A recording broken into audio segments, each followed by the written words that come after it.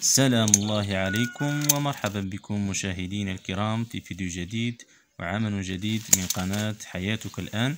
اليوم إن شاء الله تعالى سنتكلم عن موضوع جديد وموضوع مهم وهو تقليم أشجار الليمون أو الحمضيات بصفة عامة وعن أهمية تقليم أشجار الليمون وأيضا موعد وتوقيت تقليم هذه الأشجار الحمضيات سواء برتقال أو الليمون سواء الأشجار الكبيرة أو الصغيرة.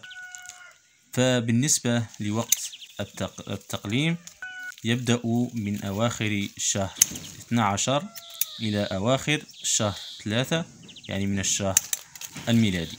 والأفضل أن يكون في شهر اثنان يعني فبراير إضافة إلى أهمية تقليم هذه الأشجار في هذا الوقت بالذات لأنها تنمو وتزهر لذا ضروري تقليم وقطع أغصان الضعيفة واليابسة وكذلك الأغصان القوية.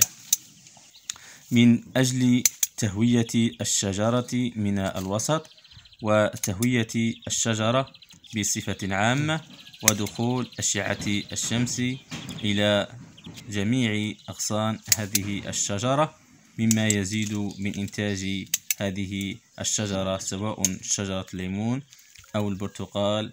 أو الحمضيات بصفة عامة. وبشكل أفضل مع الضروري من إزالة الأغصان السفلى حتى نساعد الشجرة من جمع قوتها اللازمة مع مراعاة الأغصان الضعيفة وغير الضرورية والتي لا فائدة منها والتي تعيق من نمو الشجرة الليمون. ثم التقليم ضروري منه لأنه يعتبر منبع حياة جديدة لكل أشجار الليمون. وإلى فيديو آخر. السلام عليكم ورحمة الله.